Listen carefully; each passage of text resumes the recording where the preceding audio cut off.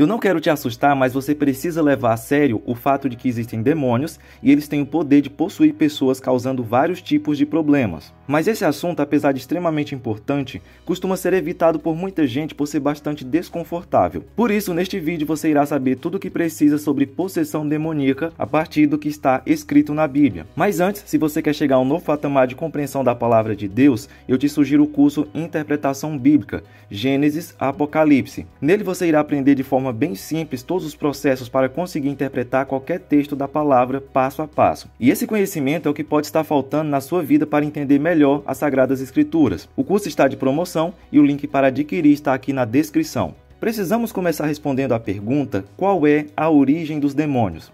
A resposta é que a origem deles, segundo a Bíblia, está intimamente ligada à queda de Satanás e à rebelião de um grupo de anjos. O pecado inicial deles foi o orgulho, a recusa de aceitar o lugar que lhes foi reservado, pois não se limitaram à autoridade recebida, mas deixaram o lugar a que pertenciam. Isaías 14 fala sobre a rebelião de uma figura angélica de grande poder e dignidade que desejava se tornar semelhante a Deus. Por isso, ele e seus companheiros foram expulsos do céu. E Pedro nos diz que Deus, precipitando-os no inferno, os entregou a abismos de trevas, reservando-os para o juízo.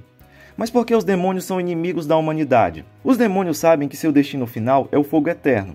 Sua rebelião contra Deus os condenou e eles não têm esperança de redenção. Os humanos, por sua vez, têm a oportunidade de se arrepender e buscar a redenção através de Jesus Cristo. Por isso, eles sentem inveja e ódio.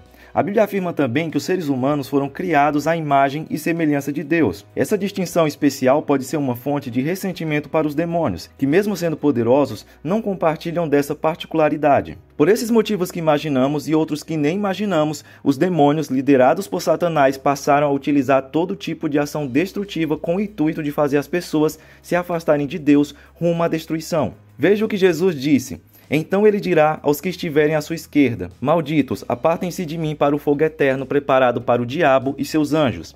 Aqui Jesus reforça a ideia de que o fogo eterno foi preparado para o diabo e os seus anjos. No entanto, os humanos que rejeitam a Deus e seguem o caminho da injustiça também compartilham desse destino. Os demônios, sabendo disso, buscam arrastar o maior número possível de humanos com eles movidos por ódio, inveja e desejo de subverter o plano de Deus. Então, como os demônios agem? Um dos maiores males causados pelos demônios e que estamos dando foco nesse vídeo é a possessão. A Bíblia fala de vários efeitos terríveis que os demônios podem causar na vida das pessoas depois de entrarem nelas. Os evangelhos sinóticos nos contam que após a transfiguração, Jesus desceu do monte com Pedro, Tiago e João e encontrou uma grande multidão. Um homem desesperado se aproximou de Jesus pedindo ajuda para seu filho, que sofria de convulsões causadas por um espírito maligno. O pai explicou que os discípulos não conseguiram expulsar o demônio. Jesus então expulsou o espírito maligno, curando o menino.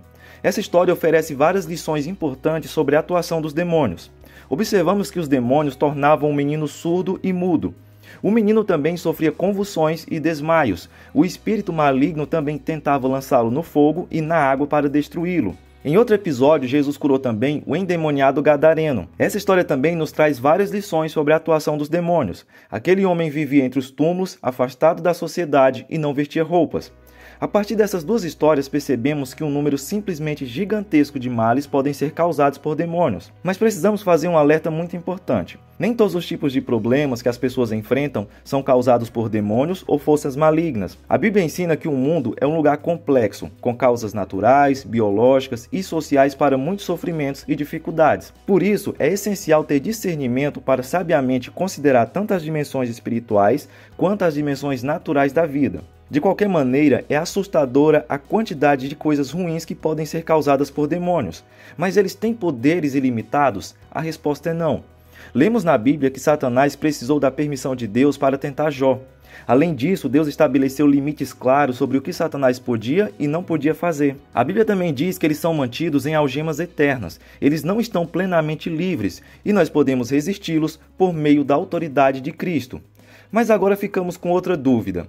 O que uma pessoa faz para que um demônio entre em sua vida? A Bíblia, apesar de não fornecer uma lista detalhada de como os demônios entram em uma pessoa, apresenta alguns princípios e exemplos que podem ajudar a entender os possíveis meios de abertura para a possessão demoníaca. A desobediência a Deus e a persistência no pecado são fatores que permitem a influência ou possessão demoníaca. O rei Saul foi atormentado por um espírito mau enviado por Deus após uma desobediência. Então Satanás entrou em Judas, o chamado Iscariotes, um dos doze. Se o caso de Judas pudesse aplicar a outros casos, ele abriu seu coração para o mal, nesse caso a ganância. Então é possível que alguém que permita que seu coração seja guiado por algum pecado habitual esteja oferecendo um convite para que um demônio entre nele. Envolver-se em práticas ocultas, feitiçaria e idolatria, que são claramente condenadas na Bíblia, também são portas de entradas para a influência demoníaca. Em 1 Coríntios 10 e 20 é dito: De maneira nenhuma, estou dizendo que esses sacrifícios são oferecidos a demônios e não a Deus, e não quero que vocês tenham parte com os demônios. Paulo explica aqui que os sacrifícios dos pagãos são oferecidos a demônios e não a Deus. Então não deveria ser surpresa que o envolvimento com tais religiões e certas práticas possam levar à possessão demoníaca. E um crente, ele pode ser possuído por um demônio? Olha, alguns princípios bíblicos podem ajudar a esclarecer essa questão.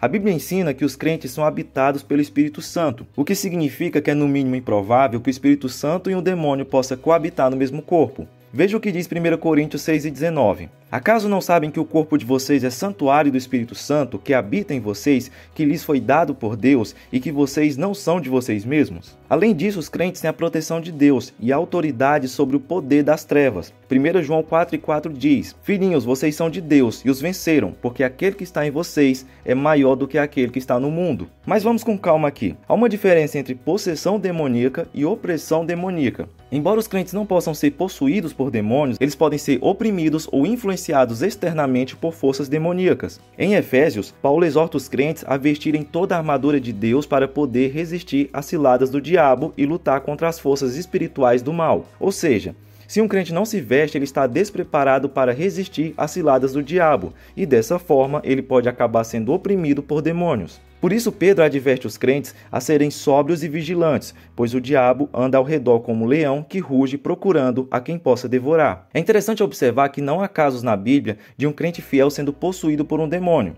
No entanto, há exemplo de crentes sendo influenciados por forças malignas. Jesus repreendeu Pedro dizendo: Para trás de mim, Satanás, você é uma pedra de tropeço para mim, indicando que Pedro estava sendo influenciado por Satanás, embora não estivesse sendo possuído. Agora vamos para uma outra pergunta muito importante: Como identificar uma pessoa endemoniada? A Bíblia menciona diversos sinais e comportamentos que podem indicar que uma pessoa está possuída por um demônio. Esses sinais variam em gravidade e manifestação, mas geralmente incluem comportamento violento ou autodestrutivo. O endemoniado gadareno vivia entre os túmulos gritando e se cortando com pedras.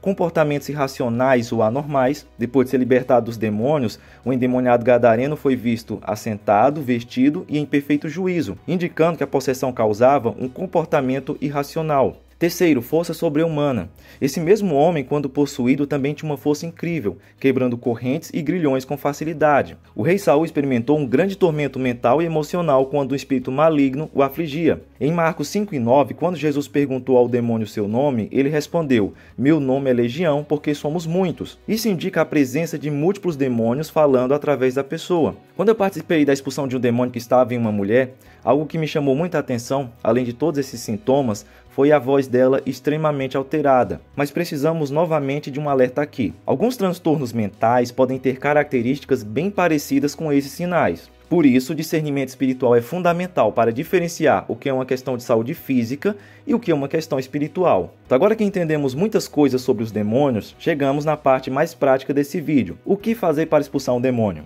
A Bíblia oferece alguns passos. A fé em Jesus é fundamental para expulsar demônios. Sem fé é impossível agradar a Deus e exercer autoridade espiritual. Lá em Marcos, Jesus disse ao pai do menino possuído: Se podes, tudo é possível ao que crê. E o pai respondeu: Eu creio, ajuda-me a vencer a minha incredulidade. O nome de Jesus tem autoridade sobre demônios. Os discípulos de Jesus expulsavam demônios em seu nome. Jesus disse: E estes sinais acompanharão aos que creem. Em meu nome expulsarão demônios. Em Atos, Paulo expulsa um espírito de adivinhação de uma jovem, dizendo: Em nome de Jesus ordeno que saia dela. Algumas possessões demoníacas precisam de muita oração e jejum para serem solucionadas. Em Marcos, Jesus disse: Esta casta não pode sair senão por meio de oração e jejum. Jesus deu autoridade a seus discípulos para expulsar demônios. Esta autoridade deve ser exercida com confiança e fé. Jesus disse aos 70 discípulos: Eis que vos dei autoridade para pisar de serpentes e escorpiões e sobre todo o poder do inimigo, e nada absolutamente vos causará dano. A confissão de pecados e arrependimento são essenciais para a libertação de uma pessoa que foi possuída. Se ela não quiser mudar, nada pode ser feito. Por isso em Tiago é dito: portanto, submetam-se a Deus, resistam ao diabo e ele fugirá de vocês. Aproximem-se de Deus e ele se aproximará de vocês. É muito importante que você conheça mais sobre o diabo, o líder dos demônios. Por isso indico que você clique e assista o vídeo que está aparecendo aí na sua tela. Que Deus te guarde e até a próxima.